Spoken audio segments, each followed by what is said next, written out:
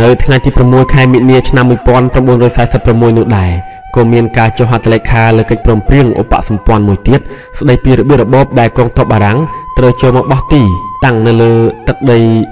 តង់កឹងជំនួសកងទ័ពចិនវិញដែលមានឧត្តមសេនីយ៍សាឡង់ជាតំណាងកងទ័ពបារាំងនិងឧត្តមសេនីយ៍វ៉ូហ្វៀងយ៉ាប់ជាតំណាងកងទ័ពវៀតណាម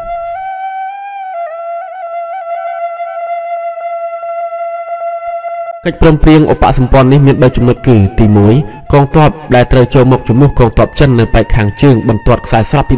17រួមមានកងទ័ពសាធារណរដ្ឋប្រជាធិបតេយ្យវៀតណាមវៀតណាមខាងជើងមានចំនួន10000នាក់ត្រូវស្ថិតនៅក្រោមការដឹកនាំរបស់មេបញ្ជាការដែលជាជនជាតិវៀតណាមនិងកងទ័ពបារាំងមានចំនួន15000នាក់ស្ថិតនៅក្រោមបញ្ជាការរបស់មេបញ្ជាការជនជាតិបារាំងតែមានមេបញ្ជាការរងជាជនជាតិវៀតណាម កងទ័ពទាំងពីរសានេះត្រូវស្ថិតនៅក្រោមបញ្ជាការរបស់មេបញ្ជាការជនជាតិបារាំងតែមានតំណាងវៀតណាមម្នាក់ជាមេបញ្ជាការរងទី2កងទ័ពបារាំងត្រូវបែងចែកជា3អង្គភាពគឺអង្គភាពទី1មានភារកិច្ចយាមពួកអ្នកឆ្លើយសឹកជប៉ុនដែលត្រូវដឹកចេញឲ្យអស់ពីទឹកដីវៀតណាមក្នុងរយៈពេល6ខែអង្គភាពទី2មានភារកិច្ចធ្វើកិច្ចសហប្រតិបត្តិការជាមួយកងទ័ពវៀតណាមនៅក្នុងការថែរក្សាសន្តិសុខនិងសុវត្ថិភាពរបស់ប្រទេសវៀតណាម អង្គភាពទី3មានភារកិច្ចការពារមូលដ្ឋានកងទ័ពវៀតណាមទី3រដ្ឋាភិបាលបារាំងសន្យាថានឹងមិនប្រើប្រាស់ឆ្លើយសឹកជប៉ុនដើម្បីជាគុំប្រយោជន៍របស់កងទ័ពរបស់ខ្លួនឡើយ មួយថ្ងៃក្រោយពីការចុះហត្ថលេខាលើកិច្ចព្រមព្រៀងខាងលើនេះនៅមុខរោងល្ខោនល្បីល្បាញមួយនៅទីក្រុងហាណូយហូជីមីញបានរៀបចំឲ្យមានអង្គមីទីងដ៏ធំមួយដែលមានមនុស្សប្រមាណជាង100000នាក់ចូលរួមជាដំបូងឧត្តមសេនីយ៍វ៉ូហ្វៀងយ៉ាប់បានឡើងថ្លែងពន្យល់ប្រជាជនវៀតណាមថាសប្តាហ៍ថ្ងៃស្ថានភាពនយោបាយអន្តរជាតិបានប្រែក្រឡាស់អស់ទៅហើយដូច្នេះយើងវៀតណាម ត្រូវប្រឈមបញ្ហាចំពោះមុខគឺប្រយុទ្ធតស៊ូយូរអង្វែងបន្តទៅទៀតលុះត្រាបានសម្រេចជោគជ័យឬមួយត្រូវផ្អាកការប្រយុទ្ធតស៊ូ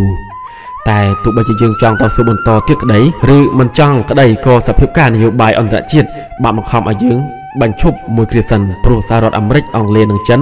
ពួកគេនាំគ្នាកាន់ជើងបារាំងអស់ទៅហើយដូច្នេះយើងត្រូវតែចុះហត្ថលេខាលើកិច្ចព្រមព្រៀងថ្ងៃទី6ខែមិនិនានោះ ឧត្តមសេនីយ៍វ៉ូហ្វៀងយ៉ាប់បានពន្យល់ពីផលចំណេញដែលបានមកពីកិច្ចព្រមព្រៀងថ្ងៃទី6ខែមិនិនានោះថាបារាំងបានទទួលស្គាល់ថាសាធារណរដ្ឋប្រជាធិបតេយ្យវៀតណាមថាត្រឹមជាសាធារណរដ្ឋសេរីប៉ុណ្ណោះដូច្នេះបើទោះបីជាយើងមិនទាន់បានទទួលឯករាជ្យពិតប្រាកដមែនតែយើងមានសេរីភាពច្រើនជាងមុន សេរីភាពនេះហើយដែលនាំឲ្យយើងឆ្ពោះទៅរកឯករាជ្យពិតប្រាកដនោះមិនតែប៉ុណ្ណោះសាធារណរដ្ឋប្រជាធិបតេយ្យវៀតណាមយើងមានរដ្ឋាភិបាលតែមួយសភាតែមួយហិរញ្ញវត្ថុតែមួយនិងកងទ័ពតែមួយដែលអាចជួយឲ្យយើងពង្រីកកម្លាំងឲ្យបានខ្លាំងក្លាថែមទៀត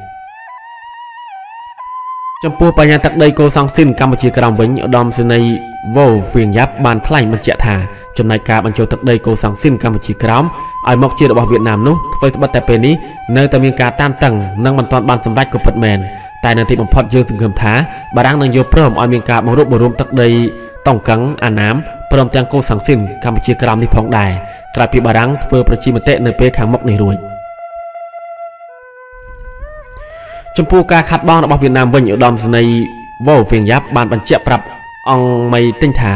មូលហេតុដែលយើងសុកចិត្តចុះហត្ថលេខាលើកិច្ចព្រមព្រៀងឲ្យបារាំងចូលមកប្រទេសយើងវិញនោះគឺដោយសារតែចិនបានចុះហត្ថលេខាយល់ព្រមឲ្យកងទ័ពបារាំងចូលមកជំនួសគេដែរដូច្នេះយើងត្រូវតែបង្ខំចិត្តចរចាជាមួយបារាំងព្រោះយើងមិនអាចនៅឯកោតែម្នាក់ឯងបានទេជាការពិតហើយដែលយើងត្រូវតែរឹងមាំហើយពេលខ្លះយើងត្រូវតែទន់ភ្លន់ទៅតាមស្ថានភាពជាក់ស្ដែងផងដែរ អ្នកឡើងមានមតិទី2គឺវ៉ូហុងខាញ់ដែលជាមេដឹកនាំអ្នកជាតិនិយមវៀតណាមនិងជាអ្នកចុះហត្ថលេខាលើកិច្ចព្រមព្រៀងថ្ងៃទី6មីនានោះតែការលើកឡើងរបស់វ៉ូហុងខាញ់ក៏មិនខុសគ្នាប៉ុន្មានពីការលើកឡើងរបស់ឧត្តមសេនីយ៍វ៉ូហ្វៀងយ៉ាប់នោះដែរចុងក្រោយ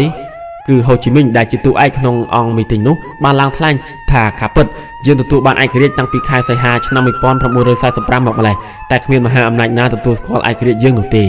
ដូច្នេះកិច្ចព្រមព្រៀងដែលខ្ញុំទើបតែចុះហត្ថលេខាថ្មីនេះថ្ងៃទី6មិនិនាគឺដើម្បីឲ្យមានការទទួលស្គាល់ឯករាជ្យនឹងឯងហូជីមីញបានបញ្ជាក់បន្ថែមទៀតថាយើងចង់បរិបរួមទឹកដីរបស់យើងទាំង3គឺតុងកឹងអាណាមនិងកូសាំងស៊ីនកម្ពុជាក្រោមតែយើងមិនអាចទាមទារបានទាំងអស់ក្នុងពេលតែមួយបានទេ ក្រោយពីចុះហត្ថលេខាលើកិច្ចព្រមព្រៀងជាមួយបារាំងថ្ងៃទី6មិនិនានោះបានចំនួន11ថ្ងៃហូជីមីញបានបញ្ជូនគណៈប្រតិភូមួយក្រុមដឹកនាំដោយវៀងតុងតាំជាតំណាងអ្នកជាតិនិយមទោះនឹងអតីតព្រះចៅបាវដាយដែលដូរឈ្មោះមកជាវិញថុយហើយនោះទៅជួបជាងកាយជាជាប្រធានាធិបតីចិនជាតិនិយម និងលោកឧត្តមសេនីយ៍ម៉ាសាដែលជាឯកអគ្គរដ្ឋ ដែលជាឯកអគ្គរដ្ឋទូតអាមេរិកប្រចាំប្រទេសចិនដើម្បីតាក់ទងឲ្យរដ្ឋាភិបាលសាធារណរដ្ឋចិនជាតិនិយមនិងសហរដ្ឋអាមេរិកទទួលស្គាល់និងគ្រប់គ្រងរបបសាធារណរដ្ឋប្រជាធិបតេយ្យវៀតណាមជាផ្លូវការ